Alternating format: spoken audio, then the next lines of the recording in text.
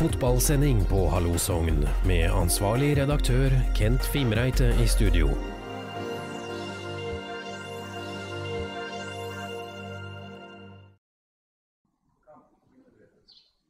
Da begynner det å nærme seg seriestart i Obos-ligaen 2021. Og jeg har med meg eh, Sogndal-trener eh, Eirik Bakke. Og eh, hvordan ser det ut nå noen dager før seriestart? Ja, det er guttene er for klare nå. Det ser jeg på trening i dag, så, så eh, Nei, det, vi har noe smårusk, men eh, ellers så eh, To dager til med trening, så skal vi være klare på lørdag. Det, som sagt så det har vært en litt spesiell oppkjøring i, i år òg, men eh, vi har fått spilt treningskamper. Vært ja, variabel i prestasjonene, vil jeg si, men viser tendenser i en del kamper, så Eh, Så gjelder det å gjenskape det her mot Ullkisa på lørdag, første kamp. Nå begynner det, og da handler det om tre poeng, og det, det er godt. Hvordan eh, vil du eh, oppsummere generalprøven mot eh, HamKam? Bra fysisk økt, eh, følte jeg. Mot et bra fysisk lag. Lite som skjedde, som stillingskrig. og Det er det du får når du møter HamKam. Det er godt å kjenne på det. Det, er- det er skikkelig kraftfotball og kynisme. og Og, eh, ja.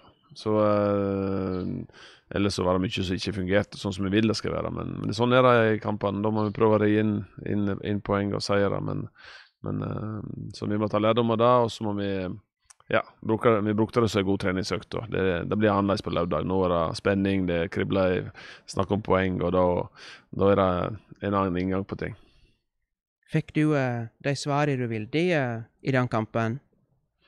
Eh, ja, jeg vil jo alltid vinne fotballkamper, men uh, vi fikk nå noe svar at vi har en del å jobbe med i forhold til ja, en del gutter som må bli menn utpå her, skal vi vinne fotballkamper. Og det og ikke gi motstanderne noen ting, selv om skårer på sjansene. Men uh, jeg føler at guttene er ja, de, de har drevet på lenge nå og venta på disse kampene her siden 28.12. nå, så, så er det i morgen eller på lørdag det, det skal, skal begynne. og da, Vi ser fram til det å spille om kamp og spille om poeng. At, og, ja, ikke bare her, tror jeg. Hele klubben og hele bygda og uh, alle rundt oss har lyst til at det uh, skal begynne å bety noe. At det.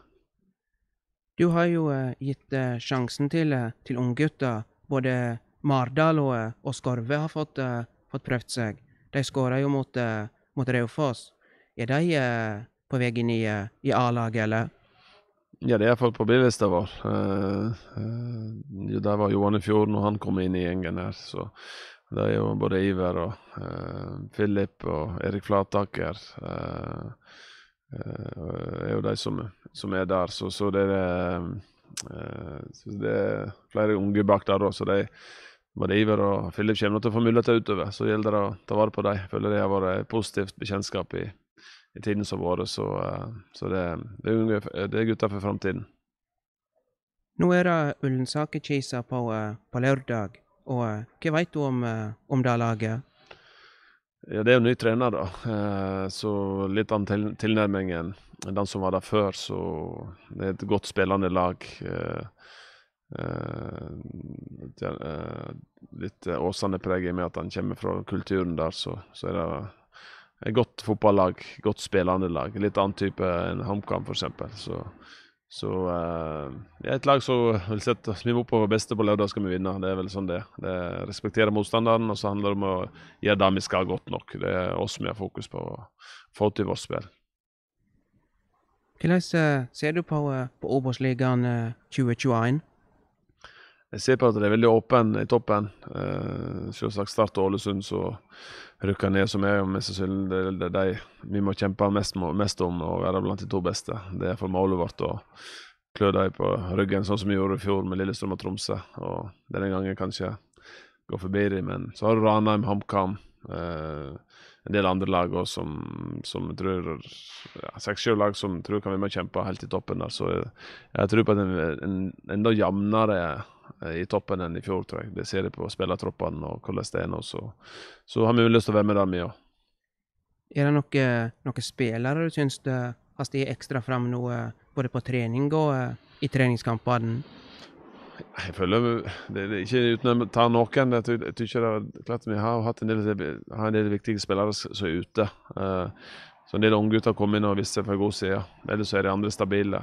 Uh, så vi vet hva de kan gjøre. De hadde gode, mange hadde gode, godt år i fjor. Nå gjelder det å gjenskape det og skape nye bilder. Og, og uh, håper jeg at de, når de er blitt et, et, år eldre med den erfaringen de fikk i fjor, de kan ta med seg det inn i året, året i år. Så, uh, ellers så føler jeg at uh, ja, det er mange spennende gutter på gang her. Så vi er et lag, ingen større enn det. Så det, det er ingen andre nevner enn laget som, som må stå fram på, i kampene framover.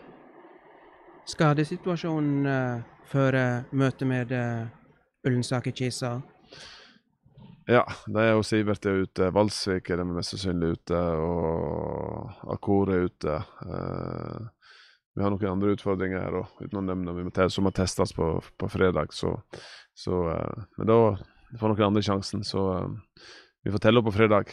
det ser litt lysere ut med tanke på de guttene som er på vei tilbake, men det er litt tidlig i de to-tre to, første kampene, tror jeg. Men, men vi skal ha et godt lag på lørdag, som gjør til at vi skal være gode nok til å slå Ullkisa. Det er jeg ganske trygg på. Er, vi oppe mot beste nivå.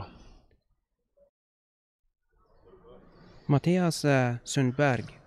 På lørdag så er det seriestart mot Ullensaker-Kisa her hjemme på, uh, på campus. Og uh, hvordan uh, blir det? Det blir utrolig kjekt å komme i gang igjen. guttene gleder seg enormt, og vi ser fram til en kanon sesongstart. og ja, vi har trua på en veldig bra kamp, og selvsagt sikt, sikta mot tre poeng. Nå har det vært en, en uvanlig lang oppkjøringsperiode. Har du fått trent godt? Vi har trent utrolig godt. Vi har stått godt i den situasjonen vi er i nå. og Kommet på trening hver dag og gitt 100 føler jeg. Vi har hatt et godt opplegg og jeg føler vi har kjørt på hele veien. Så jeg føler at vi er veldig rusta til til sesongstart nå. Så jeg tror at vi er hakket bedre forberedt enn andre, i og med at vi har trent så godt.